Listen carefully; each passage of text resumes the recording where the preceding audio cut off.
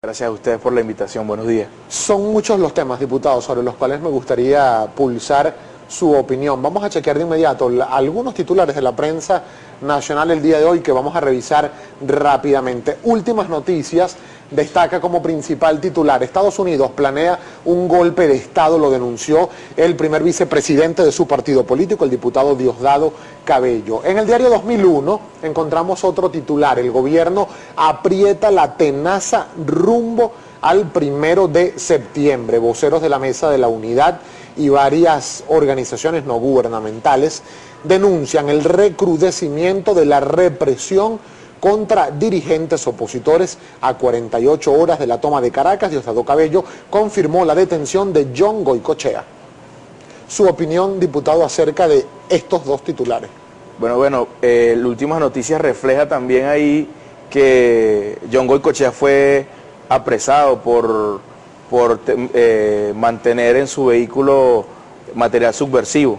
Yo creo que nosotros debemos al pueblo de Venezuela demostrarle y, de hacer, y diferenciarle lo que es un eh, elemento subversivo y lo que son elementos terroristas. A este señor se le encontró en su vehículo cordones llenos de C4 que bueno que van a que tienen como finalidad la explosión de algún elemento, ¿no? Eso ya eh, está plenamente comprobado. Claro, nuestro, cuerpo de seguridad ya así lo dijeron y este, por supuesto que se tendrá el debido proceso con, con este compañero, un compañero que dicho sea de paso eh, fue el merecedor del premio Milton Friedman hace aproximadamente tres años, se fue hasta al extranjero con 500 mil dólares, ¿a qué?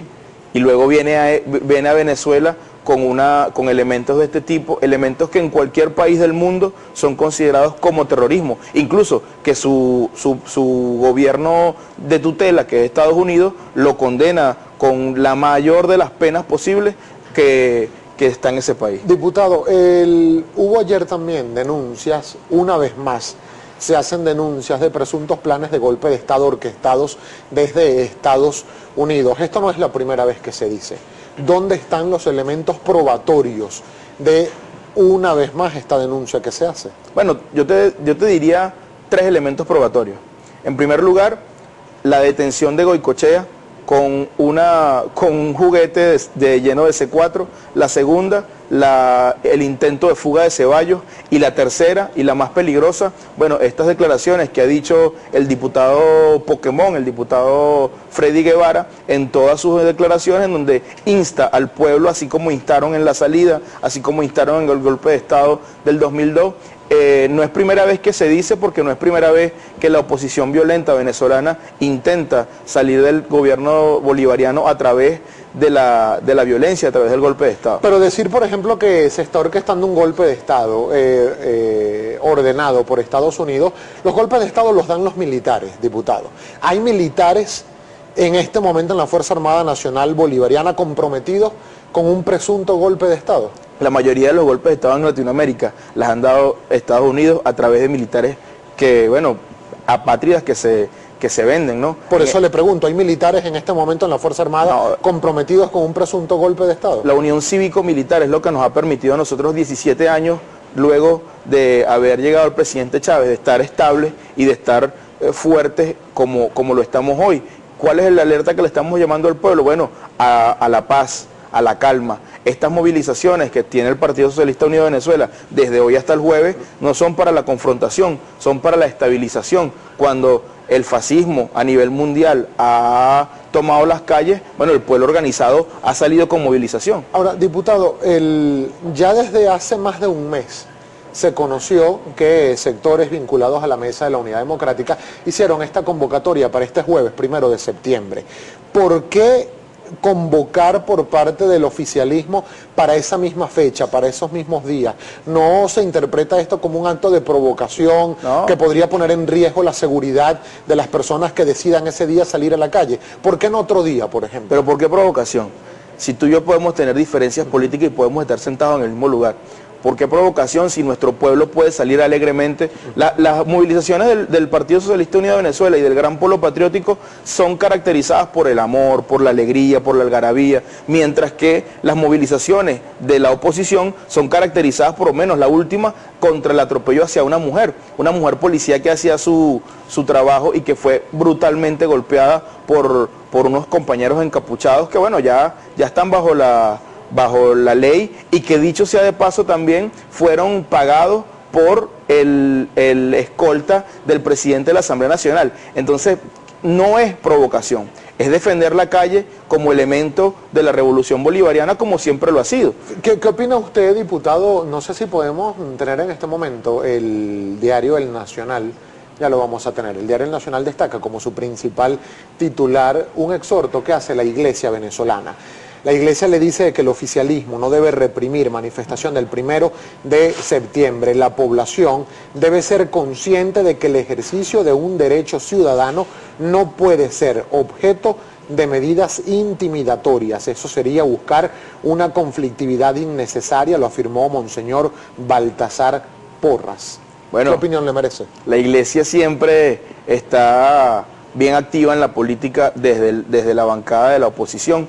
Y, nosotros siempre le hemos hecho un llamado a la iglesia que o que se quite la sotana o que se intrometa solo en los asuntos de la iglesia. Somos uno de los pocos países del mundo en los que la iglesia pertenece y hace parte al proselitismo político en este país. Yo creo que ellos están utilizando su sotana para desde adentro de la iglesia, junto con la oposición, desestabilizar al país. Yo creo que eh, un llamado a todos los cristianos, a los católicos, a los... Eh, compañeros adventistas de todas las religiones, es que permitamos que la consensuación de nuestras diferencias haga una hegemonía del amor. Yo creo que es importante que nuestro pueblo hoy eh, más que nunca tenga como, como premisa la hegemonía del amor de Cristo, la hegemonía del amor de, Jesús de Nazaret, que siempre llenó y que siempre sigue llenando el mundo de ese, de ese manto redentor. ¿Cómo va a ser, diputado, la logística para la movilización que tienen prevista desde sectores que apoyan al gobierno del presidente Nicolás Maduro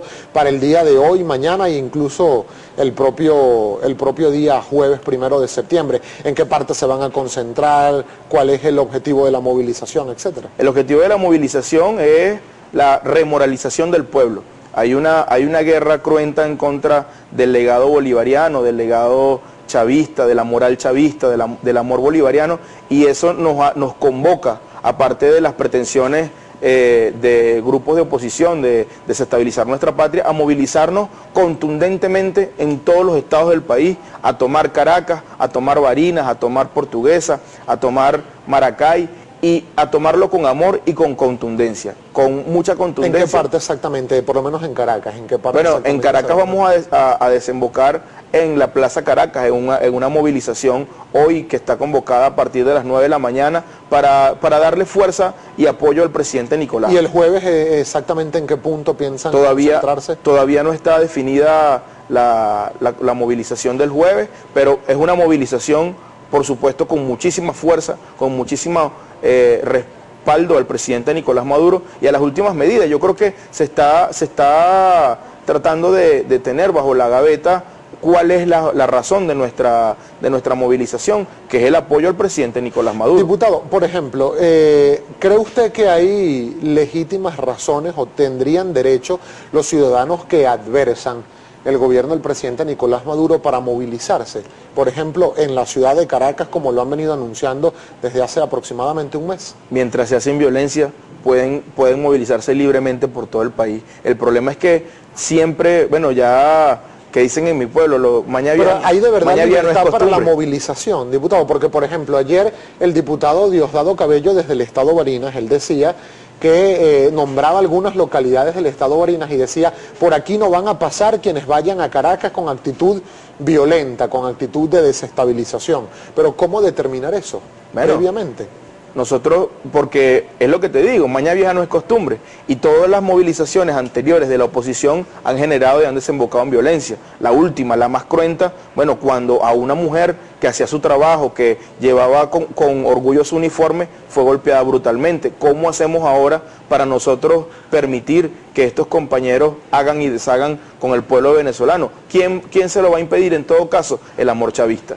En, ningún, en ningún lado de nuestra Constitución está contemplado la prohibición o no de una... Le hago una... pregunta, diputado. Hay una máxima mundial, diputado Soteldo, que dice que se presume la inocencia y se comprueba la culpabilidad. Ya está el hecho, Claro, pero el hecho de ustedes presumir de que toda movilización de oposición va, va a ser violenta, ¿no cercena también derechos políticos de un grupo de venezolanos que sienten que tienen derecho a manifestar pública, pacífica y democráticamente alguna inconformidad. El que no va a poder manifestar con su cordón de C4 es Goicochea, porque ya se comprobó que, bueno, tiene este, una, una, un elemento, bueno, explosivo que va a generar daño. Y, y, Ceballos, que sigue preso, y el de Maturín, que se fue del país huyendo, y Freddy Guevara, que hasta ahora ha, tenido un, una un mal tono en todas sus declaraciones, creo yo que estos compañeros están haciendo un llamado peligroso a la violencia. Quieren que todo esto, que se, desencadene una, una, una confrontación violenta entre ambos grupos. Lo único que le queda a la oposición venezolana es la violencia. Ellos saben que por el método electoral no van a, a, lograr nada. Ya el CNL dijo cuándo comienzan su, la recolección de sus firmas. Ellos saben que además de eso han, venido mintiéndole nueve meses al pueblo venezolano en la Asamblea Nacional y que se deslegitimaron. Adentro de la Asamblea Nacional hay un circo montado, en cual, bueno, el títere mayor, el, el presidente de la Asamblea Nacional, hace muy mal de titiritero, porque todos sus todas sus marionetas lo que hacen es, bueno, entorpecer el juego político de este país. ¿Usted es diputado a ese cuerpo legislativo? Yo soy diputado por la Asamblea, Nacional, a la Asamblea Nacional por el bloque de la patria y hemos estado en todo momento en contradicción contra, este, contra esta presidencia que desde el primer momento de la, de la Asamblea Nacional, desde el 5 de, de enero, ha estado en desacato a la Constitución. Nosotros tenemos que hacer una breve pausa, diputado Soteldo, pero al regreso vamos a revisar toda la participación de la audiencia que nos llega a través nuestra cuenta en Twitter, arroba Globovisión, arroba primera página. Mi compañera Steninf Olivares ya está lista para presentar algunos de esos comentarios. 7-12 minutos de la mañana, pausa comercial, ya venimos.